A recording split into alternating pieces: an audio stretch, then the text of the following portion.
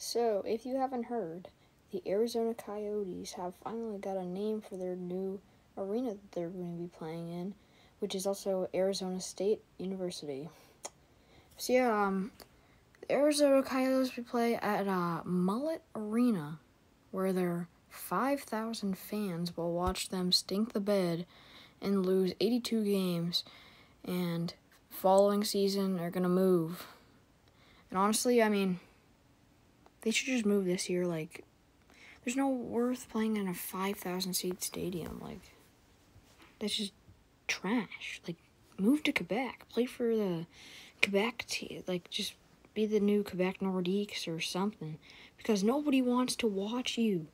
The Arizona Coyotes are trash. You have no good players. You have no good facilities or anything. You're just like the worst team by far. But yeah, that's my opinion on uh,